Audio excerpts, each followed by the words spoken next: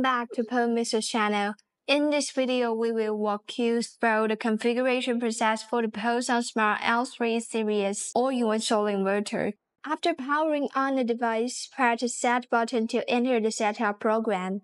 Setting 0 is used to exceed the setup program, designed to prevent accidental entering into the setup mode. To exceed the setup, press the Enter button while in Setting 0, and you will return to the main screen. Setting 1 allows you to configure the AC output priority. The UTI option represents the utility priority mode. In this mode, grid power is the primary source for powering the load, with battery power only activated when the grid power is unavailable. If solar power is sufficient, it will always be used to supply the load. The SBU option represents the inverter priority mode, where the inverter primarily uses solar power to supply the load.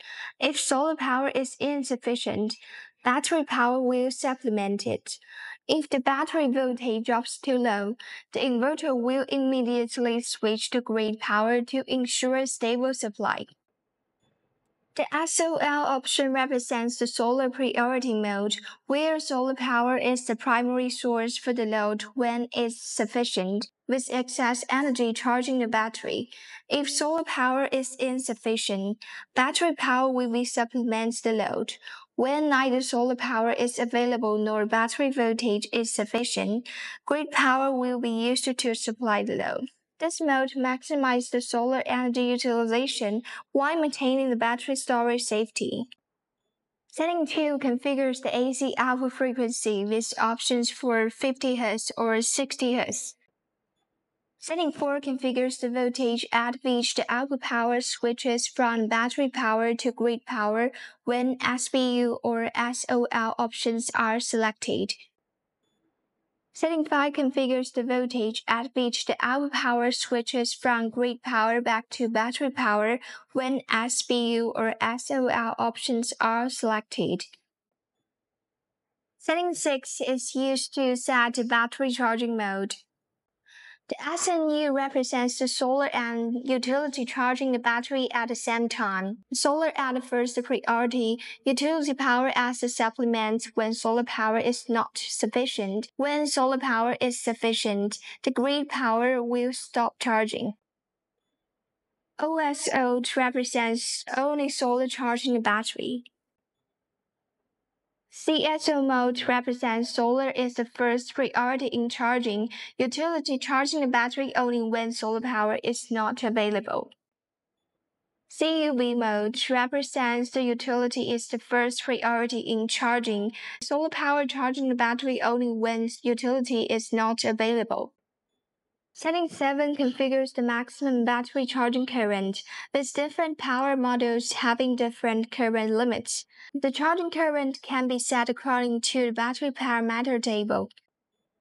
Setting 8 configures the battery type, with options including GEL batteries, 14 string lithium iron phosphate batteries, 15 string lithium iron phosphate battery, 16 string lithium iron phosphate battery, 13 string ternary lithium batteries, 14 string ternary lithium batteries, custom options, self lead-acid batteries, and flooded lead seed batteries.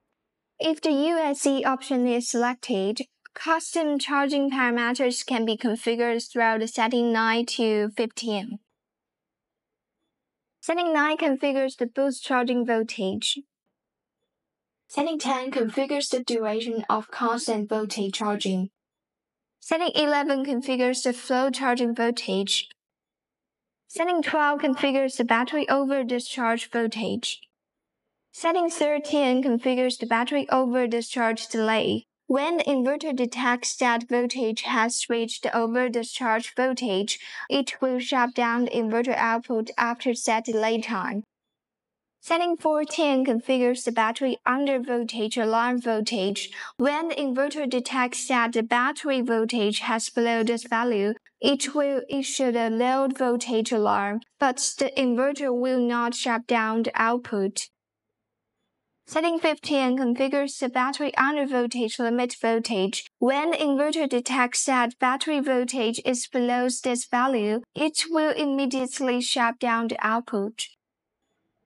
Setting 16 configures the enabling or disabling of the battery equalization charging function, mainly charged in float and lead-acid batteries.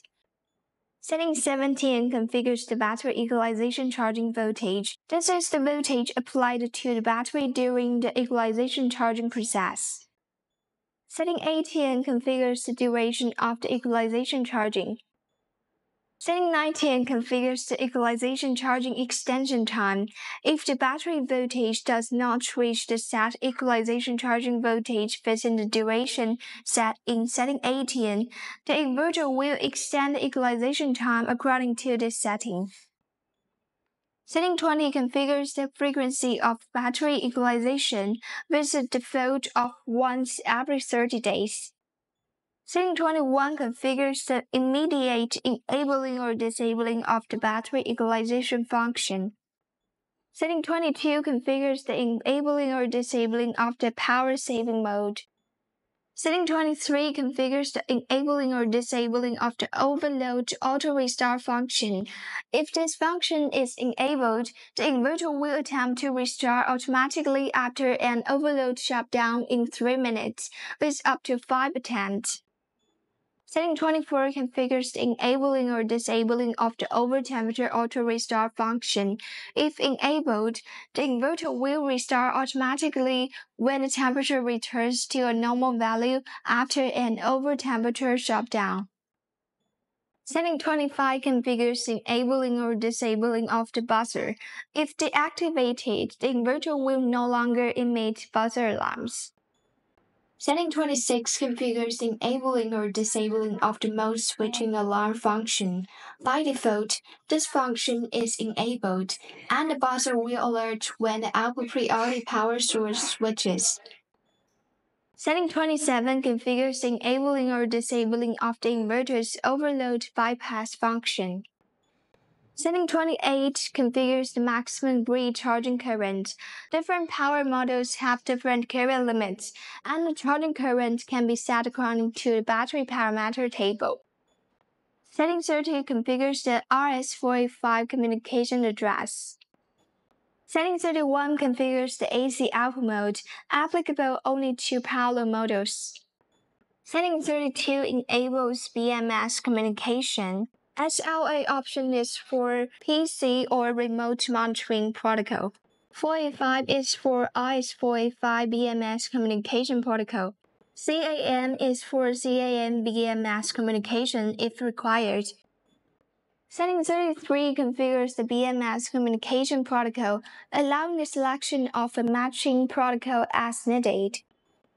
Setting 34 configures the enabling or disabling of the grid type function. This function must be strictly enabled or disabled according to the local regulations.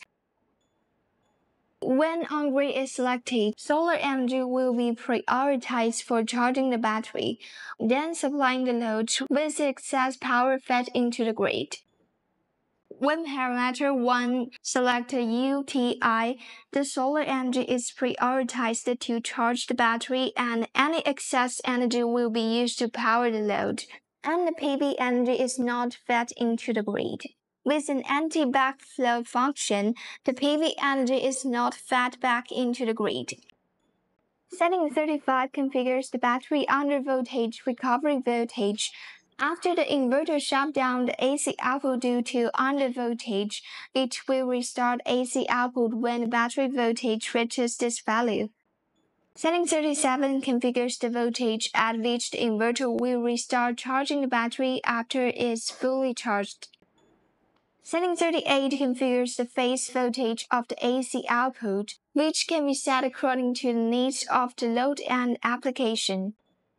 Setting 39 configures the charging current limits method, requiring BMS communication to actively set this program. LCBMS option limits to the battery BMS maximum charging current. IMV option limits to the inverter's on maximum charging current. Set option limits the maximum charging current to value set in setting 7. If BMS communication is not enabled, this setting does not need to be configured.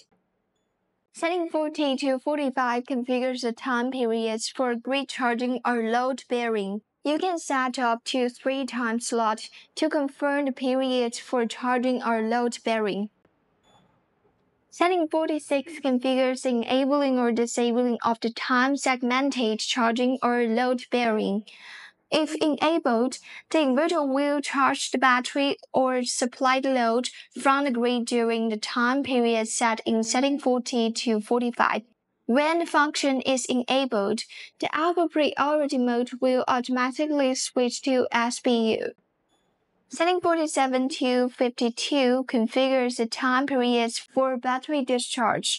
Similarly, you can set up to three time slots to confirm the periods for battery discharge. Setting 53 configures enabling or disabling of the time segmented battery discharge function. If enabled, the inverter will allow battery discharge to supply load during the time period set in setting 47 to 52. When this function is enabled, the alpha priority mode will automatically switch to UTI. Even if the setting 46 is enabled, Setting 54 configures the local date. Setting 55 configures the local time. Setting 56 configures enabling or disabling of the leakage detection protection function. Setting 57 configures the current at which charging will terminate. When the charging current falls below this value, the inverter will stop charging. Setting 58 to 62 configures SOC value for battery charging and discharging. If BMS communication is not used, these options do not need to be set. Setting 58 configures the discharge alarm SOC.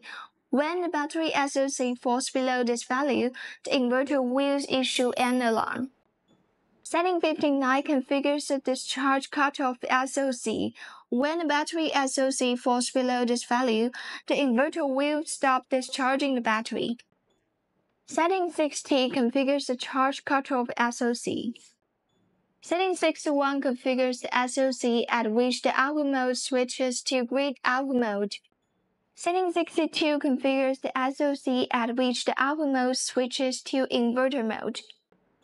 Setting 63 configures the N-PE bonding automatic switching function. If enabled, the N-PE connection will switch automatically.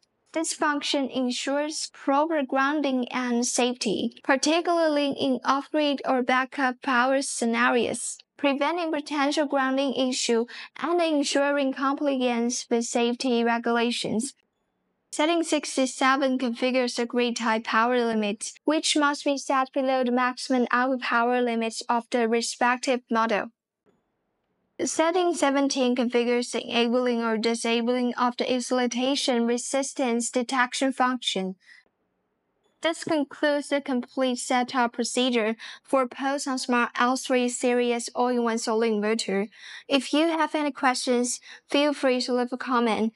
Thank you for watching and see you in the next video.